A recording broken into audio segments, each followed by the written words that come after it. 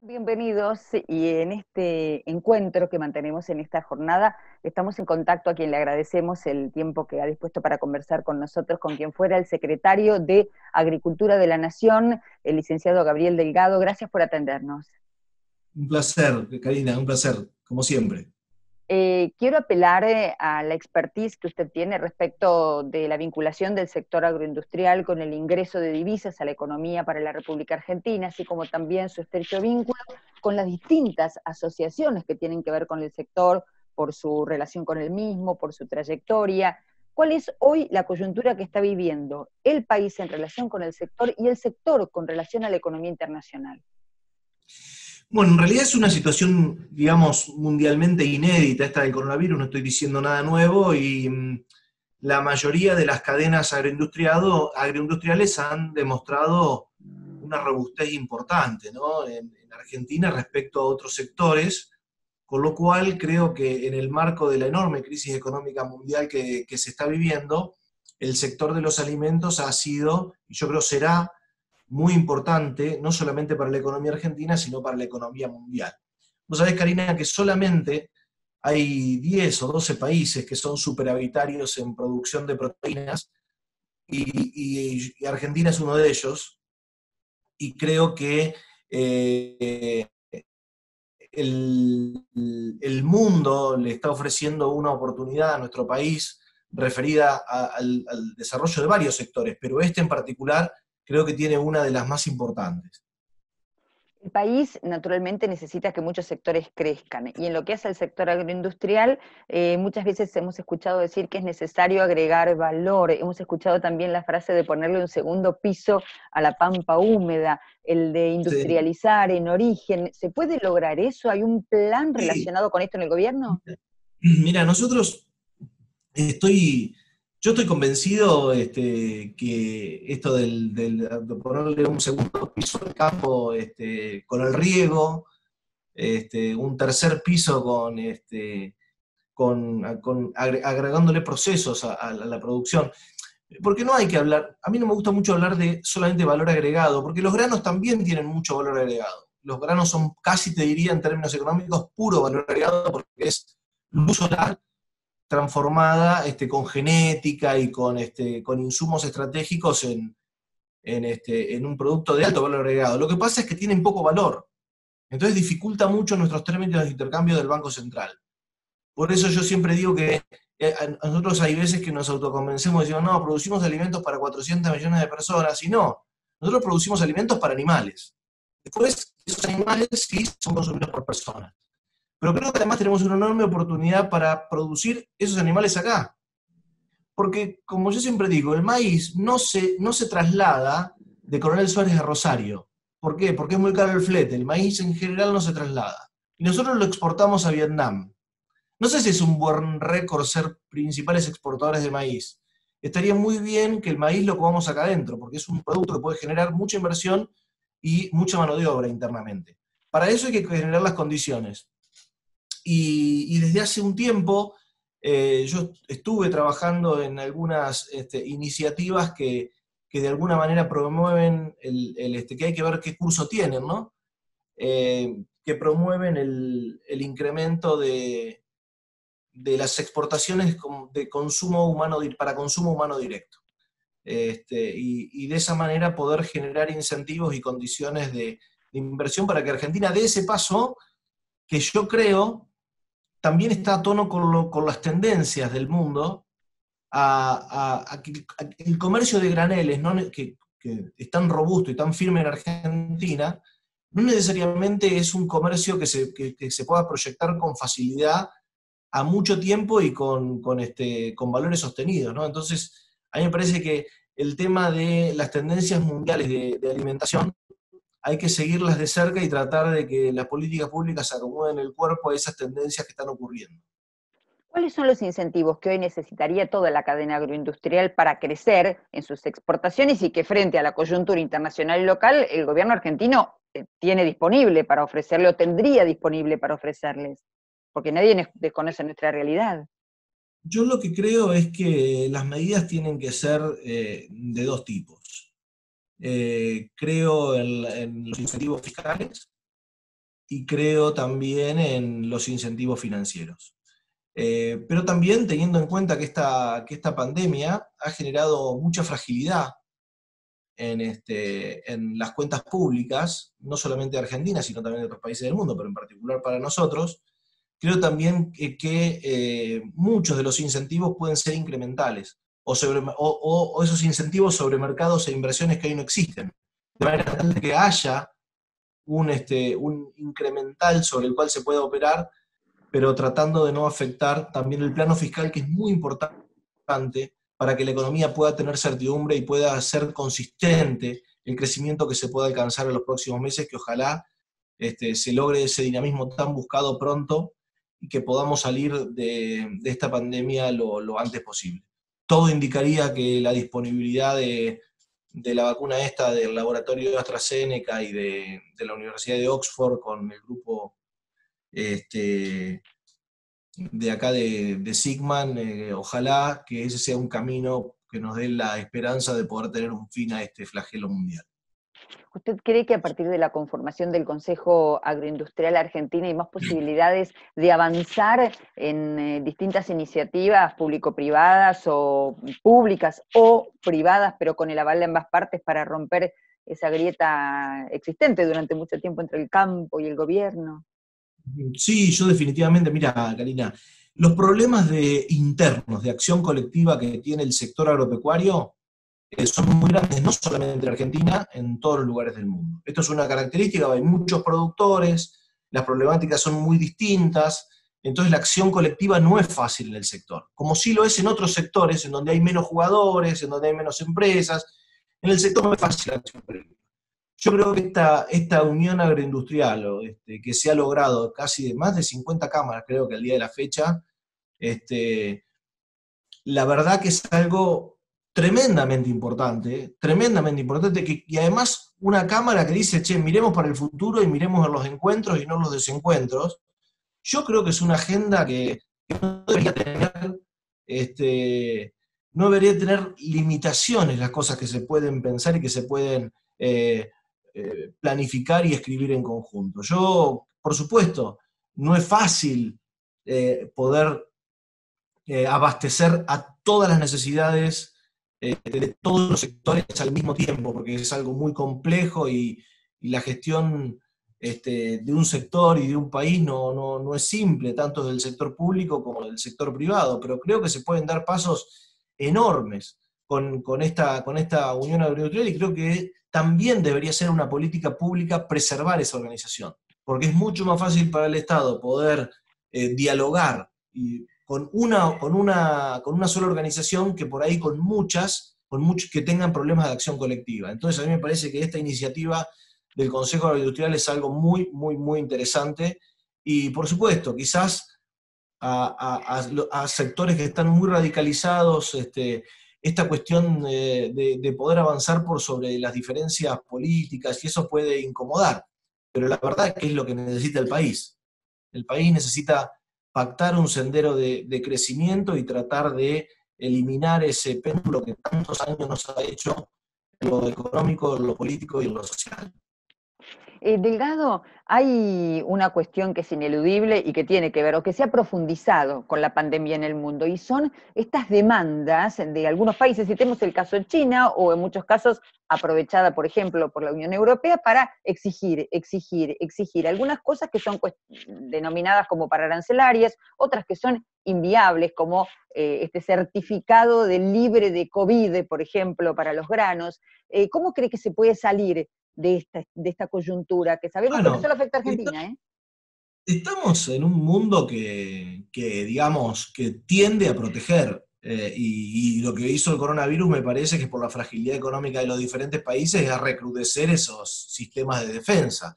Entonces, eh, recién hablábamos del tema de productos más procesados o, de mayor valor que otros. A mí me parece que los países tienen aranceles mayores cuanto mayor es el valor de lo que se va a importar. Eh, Argentina, cuando, también uno, acá tiene este, determinados aranceles de derechos de exportación y lo que fuera, pero enfrente también hay. Cuando llega, o sea, la protección conjunta, la protección total, este, para que, la, para que la, gente lo pueda entender, la protección total es la suma de las, de las, las autoprotecciones de los países, y todo eso es una agenda que yo creo que va a ser peor después del coronavirus. Va a ser un mundo que ojalá esté dinámico, pero con más protecciones, con más pobreza, porque el coronavirus finalmente lo que quitó es dinamismo económico y cuando falta dinamismo económico lo que se generan son problemas sociales. Y me parece que estamos yendo a un mundo cada vez más difícil, cada vez más sofisticado, eh, en donde, como bien decís, y, el COVID es un elemento, pero siempre hay elementos, la huella de carbono. Hoy leí un artículo muy interesante que era cómo va a ser la agricultura para descarbonizarse. ¿Por qué? Porque es una agenda que la tenemos enfrente y podremos estar más de acuerdo o no con esa agenda, pero lo cierto es que ya el comercio va a ser así.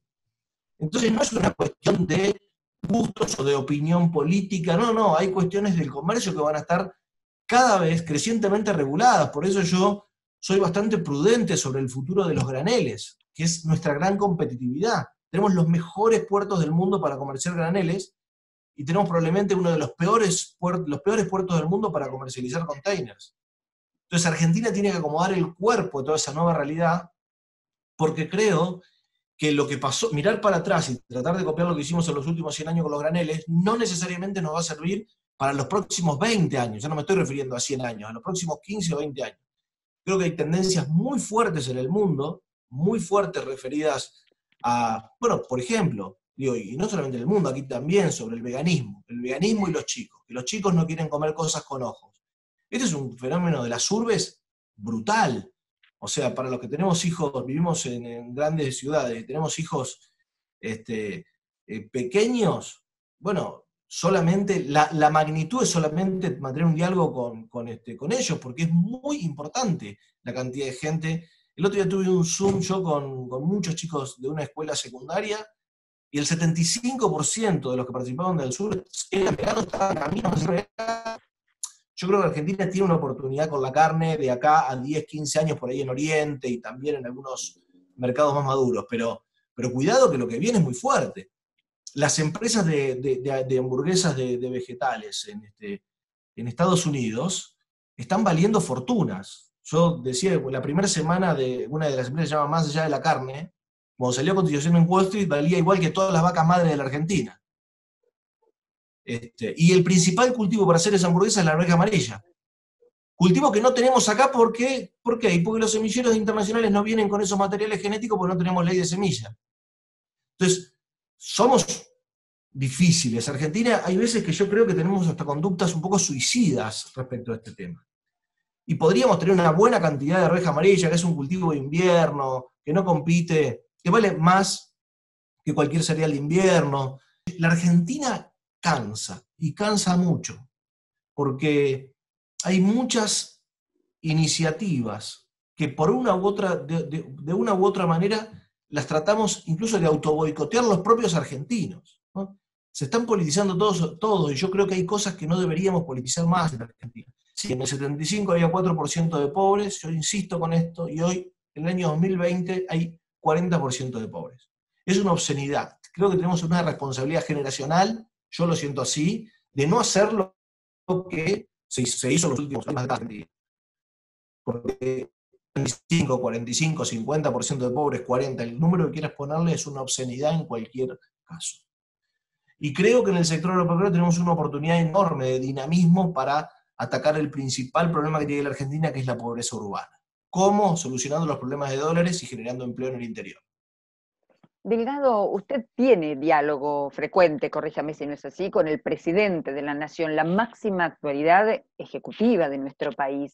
¿Con él ha podido hablar acerca de, porque todos estamos aguardando eh, ese paquete de medidas que el presidente de la Nación dijo que en algún momento va a anunciar?